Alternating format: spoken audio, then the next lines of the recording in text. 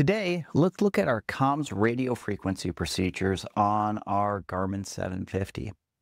You'll notice in the upper left-hand corner of the display, there are two frequencies that are stacked. The upper frequency is your COM active frequency, and the lower is your standby frequency. If you want to put the standby into the active box, you simply touch the active box, and you'll notice they switch positions. Now, I should mention that the frequency in the active box will only transmit if you have the correct radio selected in your mic box. Now, since this is radio number one, this will be the frequency that will be used when pressing your transmit button. If you want to enter a known frequency, you can press the standby box and then enter your known frequency. And then we press enter. But let's say we don't know what the needed frequency is. For our example today, we're on the ground at the Heber Airport in Utah. In the middle portion of the display, you see our home page. And we can always get back to this by pressing the home button in the upper right-hand corner of the unit. If we need frequencies for the airport we're at, uh, the easiest way to do that is to either press nearest or waypoint info on your home page. Uh, for this example, we'll use uh, waypoint info. Then we press airport. Then we press frequencies and the available frequencies for that airport will appear.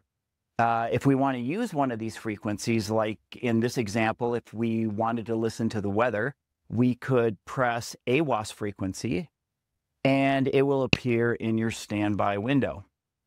Then we press the upper COM box and it becomes active.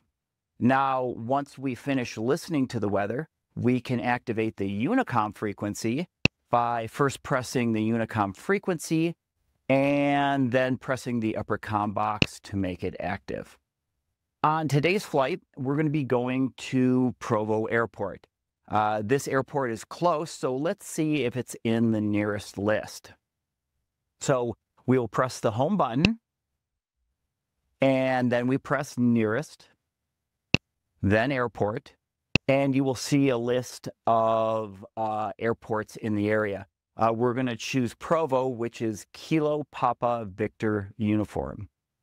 So let's load the ATIS for Provo by pressing the Provo identifier then frequencies, and then ATIS.